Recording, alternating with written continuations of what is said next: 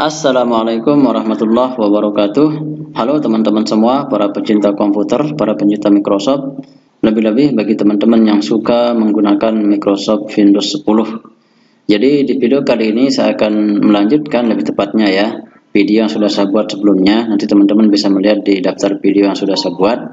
Jadi di video kali ini saya akan membagi tutorial di Windows 10 ya. Lebih tepatnya 25 keyboard shortcut penting di Windows 10 yang bisa membuat pekerjaan kita menjadi lebih cepat selesai. Sebelum lanjut saya ingatkan bagi teman-teman yang belum klik tombol subscribe silahkan klik dulu subscribe ya dan aktifkan tanda loncengnya untuk berlangganan. Baik kita akan bahas satu persatu ya di sini yang pertama adalah kombinasi tombol Windows ya, ALT dan D. Nah, ini fungsinya untuk membuka kalender jam ya. Kombinasi Windows, ALT dan D. Fungsinya untuk membuka kalender dan jam. Kita buka Windows ALT D. Nah, ini dia akan membuka jam dan kalender. Terus yang kedua Windows E. Windows plus E ya. Ini. Kalau ini sudah biasa teman-teman lakukan ya. Start eh, Windows E. Nah itu membuka Windows Explorer teman-teman ya. Bisa seperti ini. Kita lagi kita sedang bekerja misal dengan menggunakan Microsoft Word ya. Tiba-tiba kita mau membuka Explorer teman-teman bisa langsung klik tombol Windows plus E di keyboard ya. Nah maka langsung kita diarahkan kepada Windows Explorer. Seperti itu teman-teman ya yang ketiga adalah kombinasi Windows ya, lambang Windows yang ini dengan panah ya, dengan panah kiri, panah kanan, panah bawah, panah atas. Kita lihat.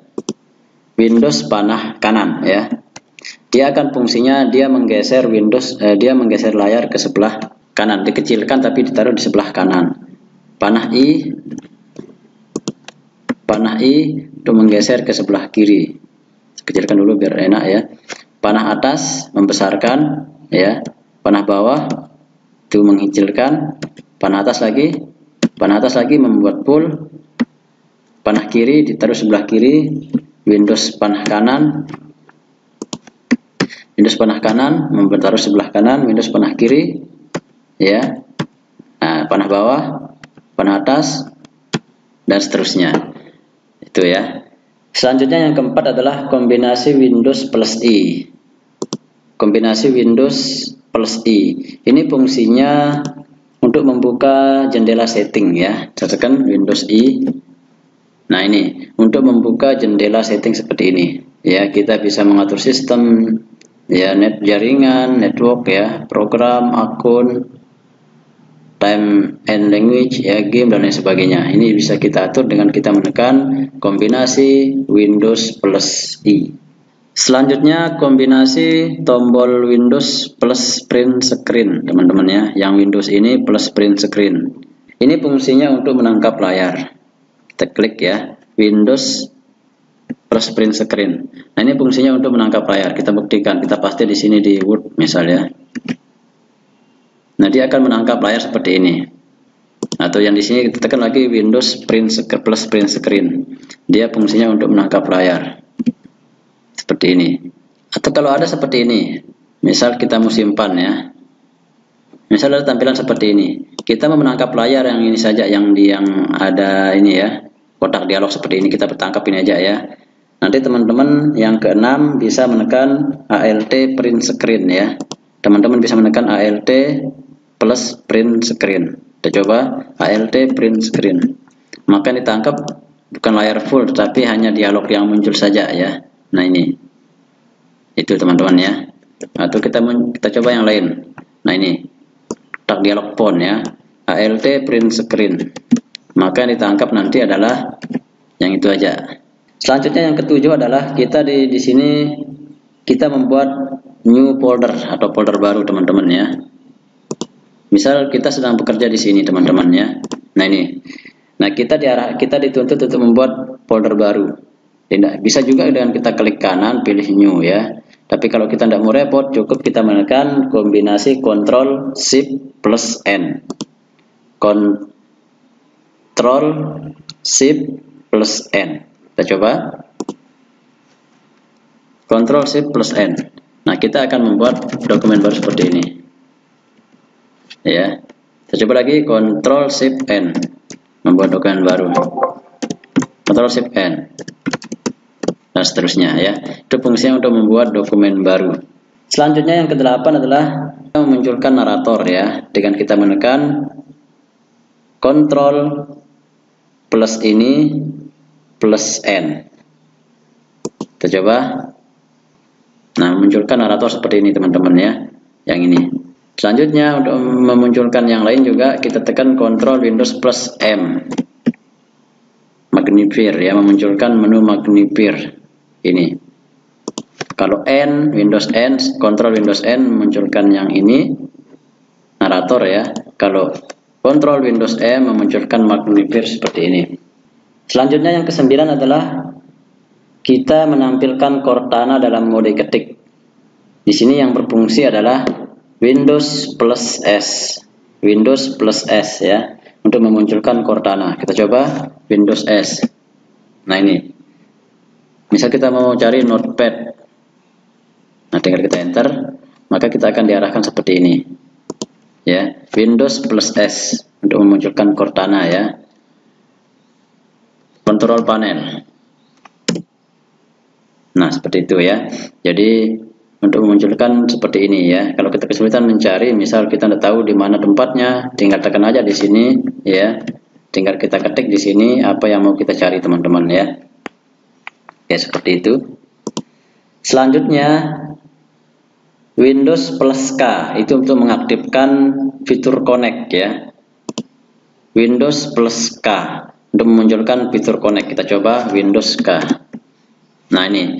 Jadi memunculkan fitur connect seperti ini ya. Jadi kalau ada di sini yang connect entah WiFi atau apa maka akan muncul di sini seperti ini teman-teman ya. Selanjutnya di sini kita memanfaatkan fitur tombol Windows plus P. Windows plus P ya. Ini fungsinya untuk memproyeksikan layar atau untuk LCD proyektor ya. Kita coba Windows P. Nah ini, kita bisa menampilkan seperti ini ya. Kita bisa PC screen only, duplikat ya seperti ini ya dan seterusnya. Seulang Windows P. Seperti itu ya. Selanjutnya di sini kita memanfaatkan fitur Windows plus X ya. Windows plus X yang ini ya. Ini fungsinya untuk mengaktifkan command, command ya. Kita coba Windows X. Nah, seperti ini ya. Bisa aja kita klik kanan di sini seperti ini ya. Tapi kalau kita tidak mau pusing dengan klik kanan, cukup dengan tekan Windows plus X. Nah, seperti itu ya. Selanjutnya kita memanfaatkan tombol Windows plus Control plus D. Itu untuk membuat virtual desktop teman-teman ya. Lambang Windows plus Control atau Control plus Windows plus D itu ya ini fungsinya untuk membuat virtual desktop. Kita coba ya. Control Windows D. Nah seperti ini ya. Jadi sudah terbentuk dua layar. Ini kan tidak kelihatan ya. Kita tambah lagi. Sudah banyak ya. Kita mau lihat. Nah ini. Inilah yang pertama ya. Layar kedua tiga empat lima. Di sini kan ada yang kebuka ya seperti ini. Ini juga yang kebuka ya.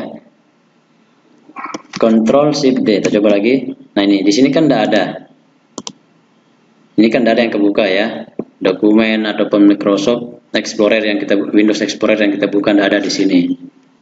Nah sekarang untuk menutupnya bagaimana? Di sini kita memanfaatkan Windows plus Control plus F4 ya lambang kontrol lambang Windows plus F4 kontrol Windows F4 itu untuk menghilangkan virtual desktop yang sudah kita buat teman-teman ya. Atau bisa aja kita seperti ini ya. Bisa aja kita tekan delete seperti ini delete ya delete delete seperti ini ya. Itu ya. Tapi untuk lebih cepatnya kita bisa memanfaatkan kombinasi Windows plus Control plus F4 oke saya buat ulang ya ini banyak sebuat ya. Ini banyak sebuat. Ini ya ada 20 desktop sebuat. Sekarang kita hilangkan semuanya. Control Windows plus F4 tekan lagi untuk menghilangkan. Control Windows F4 tekan lagi. Nah sudah habis teman-teman ya. Jadi virtual desktop yang sudah kita buat sudah habis ya. Selanjutnya di sini kita memanfaatkan lambang tombol lambang Windows plus Control plus panah kiri dan panah kanan. Ini ya Control plus Windows plus panah kiri dan panah kanan ini fungsinya untuk berpindah antar virtual desktop Oh ya, ini belum kita buat virtual desktopnya, kita buat Control Windows D. Nah ini, sekarang kita mau coba bergeser dari virtual desktop 1, 2, 3 dan seterusnya. Tekan Control plus Windows plus panah kiri. Nah, ini, tekan lagi panah kiri, tekan lagi, udah habis. Tekan lagi panah kanan, tekan lagi, tekan lagi, tekan lagi, dan seterusnya. Kita hilangkan Control Windows plus F4. Oke, sudah habis. Selanjutnya di sini kita memanfaatkan lambang Windows ya. Lambang Windows seperti ini ya. Ini dengan tombol di atas 1 2 3 4 5 6 7 dan seterusnya. Nanti teman-teman bisa dikombinasikan. Nah, ini fungsinya untuk membuka program yang ada pada taskbar. Ini misal yang ini paling pertama ya Windows Explorer, maka dia yang pertama kali terbuka. Oke, saya tutup ya biar kelihatan perubahannya ini Photoshop, kalkulator, Paint, dan seterusnya. Nah ini, jadi nomor satu itu yang paling pertama kebuka, yang kedua untuk yang di sini yang nomor dua, yang ketiga dan seterusnya. Tergantung dari program apa yang ada di bawah. Kita coba ya, dengan kita menekan lambang Windows plus satu, dua, tiga dan seterusnya. Kita coba tekan Windows 1. Maka yang kebuka di sini yang pertama ada di sini.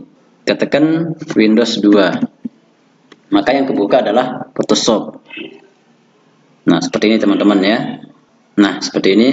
Kita tekan lagi Windows 3. Itu kalkulator ya memunculkan kalkulator seperti ini tekan lagi Windows 4 1 2 3 4 berarti yang keluar adalah Paint kita coba Windows 4 Paint kita coba lagi Windows 5, Windows plus angka 5. Maka Google Chrome. Oke, seperti itu teman-teman ya. Nanti teman-teman bisa kerja, bisa kombinasikan ya. Teman-teman bisa kombinasikan untuk bekerja lebih cepat menggunakan program kalau teman-teman menggunakan Windows 10 ya. Selanjutnya di sini kita memanfaatkan kombinasi tombol Windows atau lambang Windows plus A ya. Ini fungsinya untuk membuka Action Center ya. Kita coba Windows A. Nah, di sini akan terbuka, di sini untuk Action Centernya ya, yang ini ya. Seperti ini, yang ini ya. Nah, cukup tekan Windows A. Itu berfungsi untuk membuka Action Center. Selanjutnya kita memanfaatkan fitur lambang Windows plus key. Ini fungsinya untuk melakukan pencarian dengan suara. Kita coba Windows key. Nah, di sini kita bisa mencari pencarian, tinggal kita masukkan di sini suara kita ya. Usahakan dengan menggunakan bahasa Inggris, maka akan muncul di sini tertulis di sini. Tuh ya. Tapi di sini kebetulan laptop saya tidak bisa menangkap suara dengan bagus, maka tidak bisa muncul di sini. Nanti teman-teman bisa coba ya, memanfaatkan fitur lambang Windows plus key. Selanjutnya adalah kita memanfaatkan tombol F11 teman-teman ya. Yang ini dengan kita menekan tombol F11 maka kita bisa membuat layar menjadi full. Kita coba. Misal ini, tampilan seperti ini. Tekan F11. Full ya. Untuk menghilangkan lagi tekan F11. Seperti itu. Atau seperti ini. Tekan F11. Itu ya. Membuat layar menjadi full. Atau kalau kita buka Paint ya, seperti ini. Misal saya tangkap layar, tangkap layar saya taruh di paint ini ya tekan F11 maka layar akan menjadi full itu tekan F11 membuat normal kembali itu kita memanfaatkan fitur F11 teman-teman ya selanjutnya kita memanfaatkan fitur lambang Windows plus W ini fungsinya untuk membuka Windows Ink Workspace ya Windows W seperti ini teman-teman ya membuka Windows Ink Workspace seperti ini. kita bisa memanfaatkan fitur Windows plus W. Selanjutnya adalah kita memanfaatkan lambang Windows plus koma. Windows plus koma ini ya. Fungsinya untuk kita mengintip desktop. Itu. Misal kita sedang bekerja seperti ini. Bisa begini. Sedang bekerja di sini ya. Nah, kita mau mengintip layar. Cukup teman-teman klik tombol Windows plus tanda koma ya. Nah, kita mengintip layar lepas maka dia akan kembali lagi Windows E maka dia akan kita bisa mengintip layar tinggal kita lepas lambang Windowsnya maka dia akan kembali. Seulang tekan Windows plus koma. Windowsnya jangan, jangan dilepas ya cukup koma aja yang dilepas maka dia akan tampil seperti ini. Kalau kita lepas lambang Windows atau tombol Windows maka dia akan kembali seperti ini. Selanjutnya kita memanfaatkan fitur Control plus Shift plus Escape. Itu untuk berfungsi membuka text manager ya. Control plus Shift plus Escape itu berfungsi untuk membuka text manager kita coba Control Shift Escape eh, berfungsi untuk membuka text manager seperti ini saya ulang Control Shift Escape. Seperti itu teman-teman ya. Selanjutnya yang terakhir di sini kita memanfaatkan Windows Plus D ya, fitur Windows Plus D. Windows Plus D. Ini berfungsi untuk meminimais semua layar yang ada yang terbuka seperti ini.